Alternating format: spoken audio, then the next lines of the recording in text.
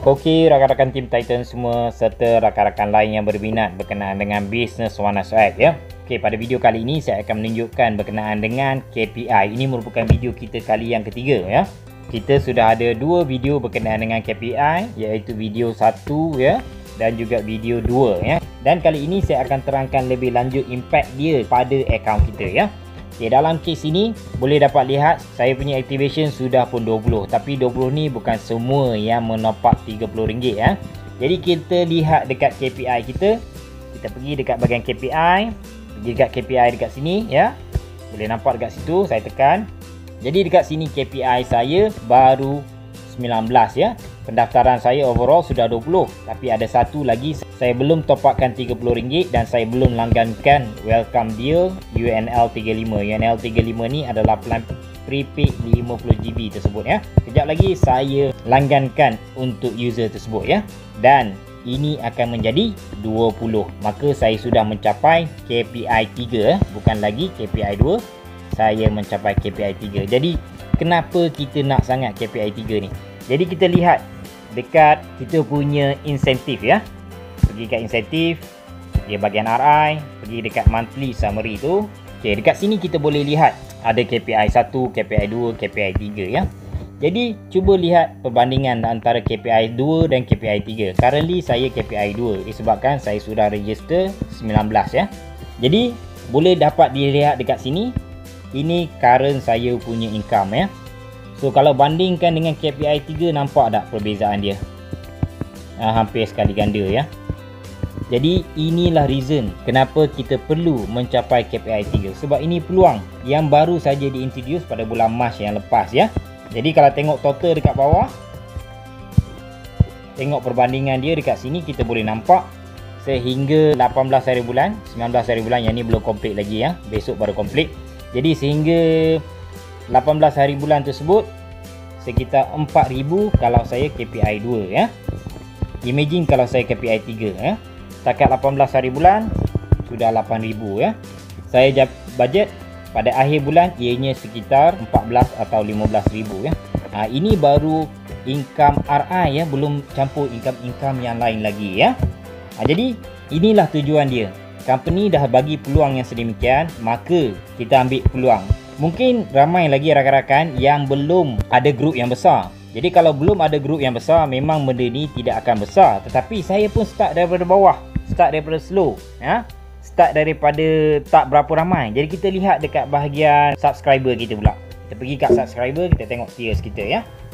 Ya semua orang akan start slow. Start 1 2 3 4 5 barulah ianya akan meningkat. Jadi tier 1 saya sekarang ada 570 jadi kalau KPI 2 dan 3 saya compare kan dekat sini kita dapat 10% ni sama saja 10% untuk Tier 2, KPI 2 kita boleh dapat 2% Tetapi kalau KPI 3 kita dapat 4% Begitu juga. Yang ini kalau tier 3 kita dapat 2% Kalau biasanya sekarang kita boleh dapat 4% Dan untuk tier 4 ni Biasa kita dapat 1% Sekarang kita boleh dapat 2% Jadi dekat sini kita boleh nampak Total dia 20% dekat sini Yang ini 15% jadi ada peningkatan 5% dekat situ ya. Dua dekat sini, dua dekat sini, satu dekat sini. Tetapi grup tier 1, 2, tier 3, tier 4 dia semakin berkembang ya. Semakin berkembang begini. Kalau kita continue buatlah ha. Jadi semua orang start dengan sikit. Tapi lama-lama kalau kita buat ianya akan menjadi besar. Saya pun sudah buat 4 tahun. Jadi janganlah expect buat 3 bulan terus nak mencapai yang besar macam ni. Kita perlu berusaha. Tapi kalau kita buat laju insyaallah ianya akan cepat dapat ya. Berbalik kepada subscriber kita ni kita sekarang ada dua kelebihan ekstra. Pertama sekali ya SIM card warna sweat ni memang boleh jual ya. Kita ada produk yang boleh jual kita ada niche market kita maka kita boleh jual SIM card ni ya yang kedua kita ada kelebihan kita bukan setakat SIM card kita ada business top up dan business top up ni pula ada dua fungsi dia pertama untuk jimat jimat kepada user tu sendiri ya. Yang kedua untuk memangkinkan bisnes kita. Jadi kalau orang 95% hanya ada SIM card, kita adalah 5% yang ada kedua-dua ini ya. Dan lebih baik lagi, business top up ni dalam keadaan biasa kita kena bayar. Ada orang jual RM200. Tapi sekarang ni kita tak jual, malah saya pula sponsor RM10 atas setiap user anda, ya.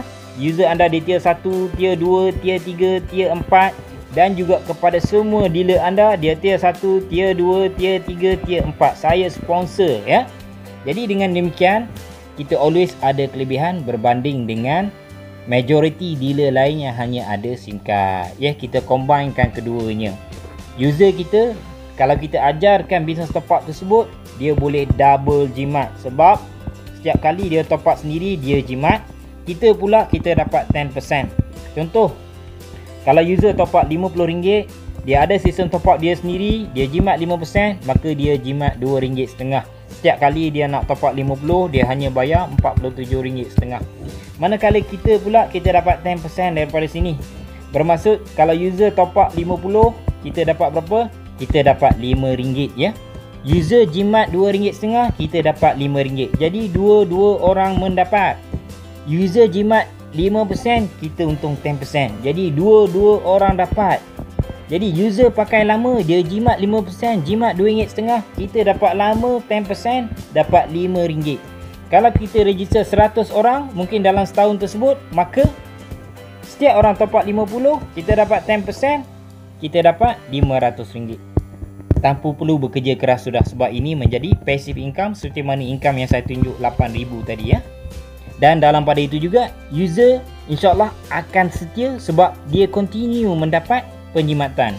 Ini tahap satu. Tahap kedua, disebabkan sistem top up kita tersebut boleh menjual pelbagai jenis top up, ya, boleh top up U-Mobile, Tiontok, Cellcom, B1, Unify, Atel, Maxis, DG dan lain-lain, maka dia boleh menjual top up secara sampingan mendapat keuntungan tambahan ya.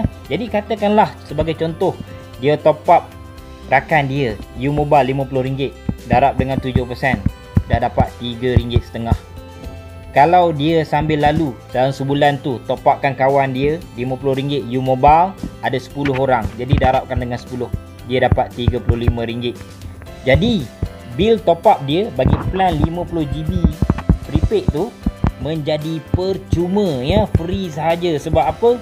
Dia sudah dapat untung RM35 jadi jimat 5% untung boleh menjadikan bil top up dia percuma. Jadi mana nak dapat? Ini tawaran yang begitu padu sekali. Jadi kita boleh buat lebih besar lagi. Okey rakan-rakan Team Titan teruskan usaha ya.